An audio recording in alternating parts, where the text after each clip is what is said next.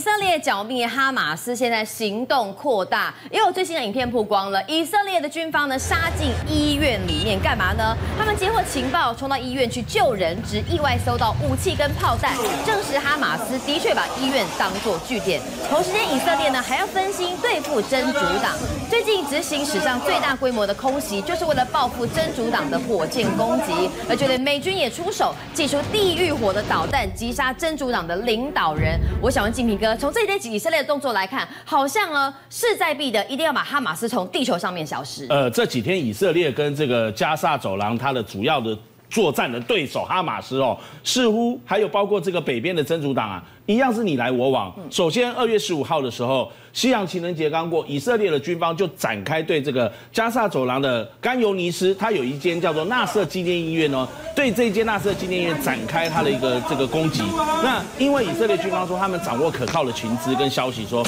在医院内部里面，哈马斯根本就把这些人质扣押在这个医院当中啊，所以据说以色列军方攻击他这个设施的时候，冲进去，然后也逮捕了好几十名的这样的一个。可能的嫌疑恐怖分子的这个嫌犯，把他给带走，而且在医院内部啦，虽然造成一定的这个程度的伤亡哈，也有造成这个里面的一些人员受伤，但是他们在医院内部发现说，里面根本就是哈马斯啊，他把这个纳瑟纪念医院当成他的一个情报指挥中心。还有审讯的地方，也就是审为什么会有审讯，就表示有人质关押在这里，对人质关押在这里，他才要审讯，好像审讯犯人的这样的一个这个设施，然后还有包括指挥中心，还有情报设施。这当然哈马斯说你骗人说谎，我们没有这样做。那当然两边就各说各话。对但以色列攻进去，而且在里面有一些这个斩获是不争的事实。而为了声援哈马斯，又被以色列攻击。那其实，在以色列北边，黎巴嫩跟以色列边境的这个真主党，他一向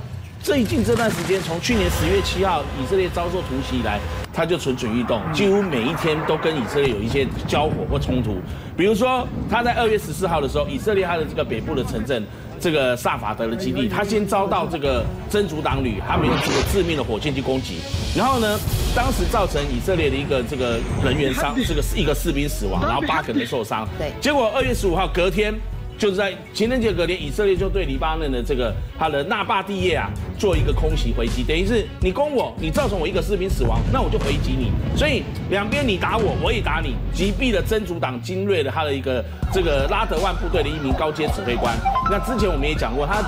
拉德万部队之前就已经指挥官有丧命了，现在又一个指挥官丢掉性命，所以真主党这一口气可能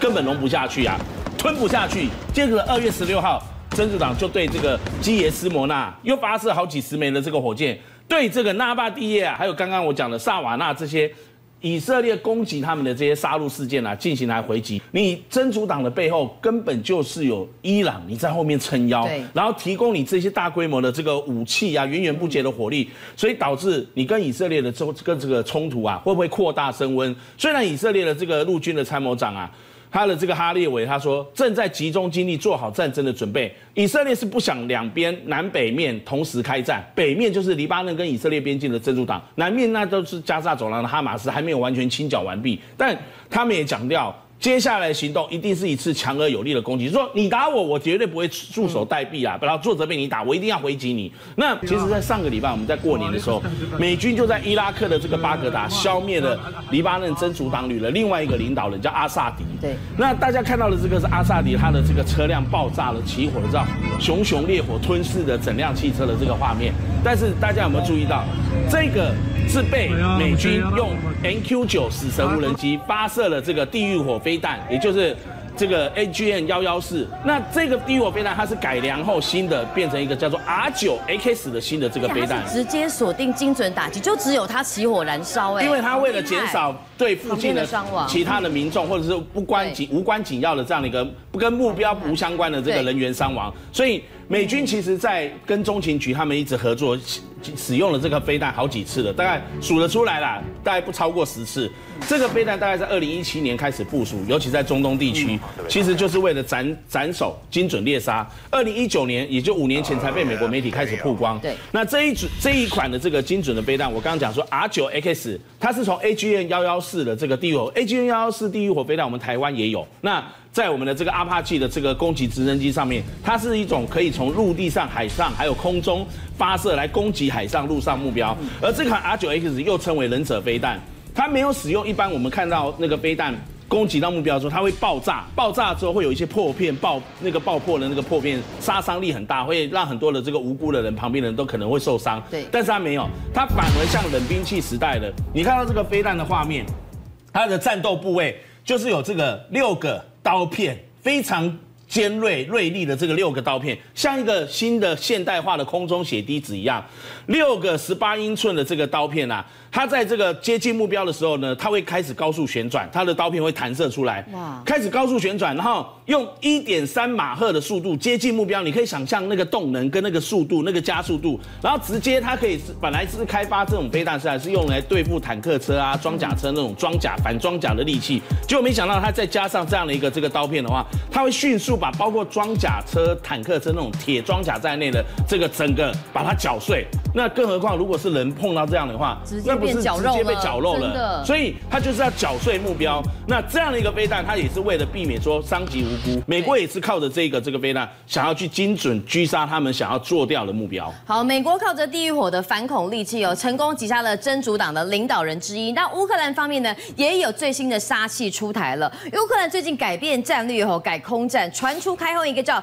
GLSDB 的精准炸弹，哎，这个炸弹呢，在过去的战争史上没有出现过。呃，在俄乌战场战场上，最近最近这段时间是开始，嗯。首次使用。那俄乌战争到了昨天二月十五号，我们看到已经打了七百二十二天，而俄罗斯的这个部队伤亡将近来到四十万人的这样的一个阵亡大关哈。那死伤那么多人，可是俄罗斯并没有松手，尤其是在乌东的战场，靠近这个顿内斯克那边地方，有一个叫阿夫迪夫卡，现在告急了。俄罗斯虽然阵亡将近四十万大军，可是他现在还有五万的这个部队包围了这个阿夫迪夫卡。那现在呢，持续尝试要去切断乌克兰军队的这个补给主要的补给线，而乌克兰呢，他也意识到说阿夫提夫卡可能要丢掉，他必须救他在里面被围围困的部队，所以派出他们的精锐的王牌部队。那为什么俄罗斯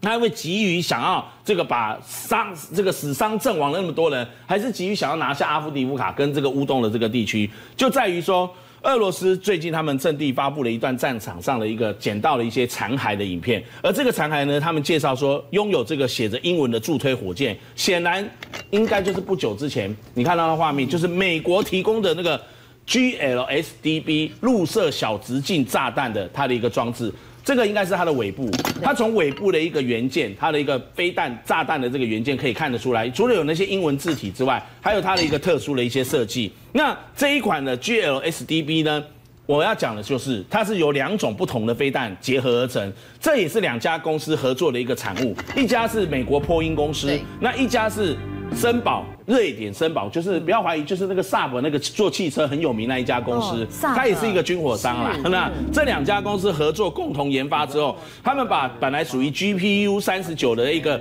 这个精准炸弹哈，然后跟 N 二十六的火箭弹结合在一起，开发成这样的一个 G 这个 GLSDB 的小直径炸弹。这个小直径，你不要看它的这个，虽然它的尺寸不大，但是它的这个攻击的精准度就跟它之前的 GPU 三十九一样，而且它的爆炸威力也是非常的强大，而且。它因为有滑翔翼的这个设计，它后面有尾翼，有可变式的这个可掠式的这个变异的这个尾翼，它可以让它有滑翔的这个增加延伸它的射程。所以你看到，如果它从这个乌克兰军帮他的手上发射的话，乌克兰军队可以用 M 二七零，也可以用这个 MLRS，就是我们讲的海马斯多管武器发这个火箭发射系统，把它这个发射出去，它的射程至少可以延伸到一百六十公里以上。